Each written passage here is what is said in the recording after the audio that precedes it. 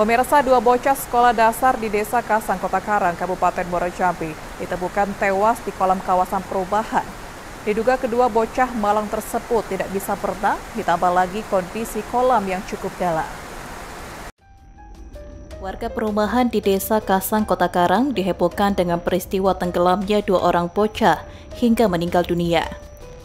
Dona, salah satu warga perumahan Fajar Residen menyebutkan, di mana kejadian itu diketahui saat orang tua korban sedang mencari anaknya yang sedang bermain di sekitar perumahan tersebut.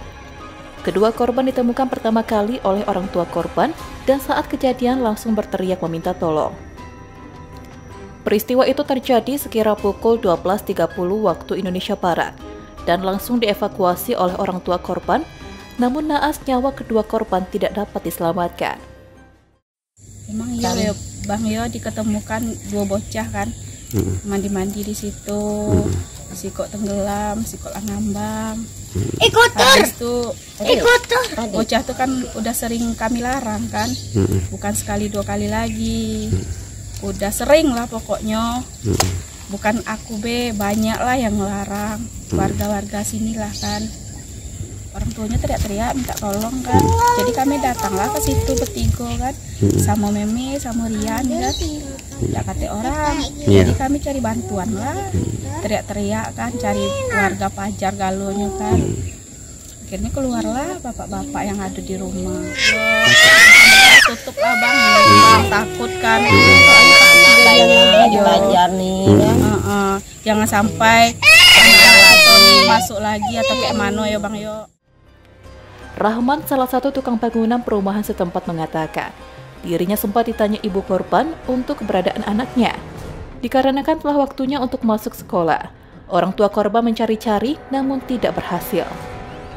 Setelah ditelusuri di kolam referensi tersebut, ternyata anaknya berada di sana, namun ditemukan tidak bernyawa. Dan kami nengok tuh emaknya nyari anaknya kan, mm-hmm. kami tunjuklah tuh yuk ke sana anak yuk, mm-hmm. ngapur cari yuk nak sekolah masuk siang kan dicari lah sama emaknya sampai sana. Mm-hmm. Sekali sudah dicari itu kami kerja lah kami fokus kerja kan, yeah. emaknya nyari meke-meke tapi tidak ketemu kan. Mm-hmm. Dan itu malah emaknya malah nyebrang ke sebelah sana lagi nyari. Mm-hmm. Minta tolong ya. Cari kan emaknya manggil-manggil tidak keluar-keluar. Mm-hmm. Kami kerja terus lah, kami kerja. Kali kami kerja tuh jam istirahat kami istirahat. Ya. istirahat itu kali tidur malah ditelepon sama masaku bos kami. Kan tengok ke belakang ada budak tenggelam. Jam berapa? Yang kami ketahuan kejadian tenggelam tuh ya. Jam setengah satuan lah. Setengah lagi satuan. istirahat. Hmm. kalau kejadian budak nyemplung tuh mungkin lah dari lama lah sudah kan. Hmm. Sementara berdasarkan keterangan kepolisian sektor Kumpe Ulu yang telah melakukan olah TKP, Korban pertama bernama Rama Saputra bin Iin Susanto, berumur 9 tahun. Merupakan warga perumahan Sri Gria Jelita Asri. Sedangkan korban kedua Alang Pratama bin Antono berusia 8 tahun. Warga desa Kasang Lopak Alai. Diketahui pukul 10.30 waktu Indonesia Barat, orang tua korban mencari anaknya di seputaran perumahan, namun tidak ditemukan. Sekira pukul 12.30 waktu Indonesia Barat, Orang tua Alang Pratama kembali mencari anaknya di seputaran kolam, melihat pakaian anaknya yang tidak jauh dari kolam. Karena merasa curiga, akhirnya orang tua korban menyelam ke dalam kolam dan mendapati kedua korban.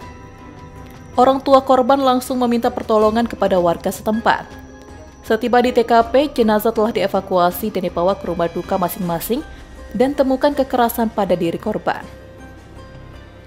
Novia Putri Sanjaya, Cek TV, melaporkan.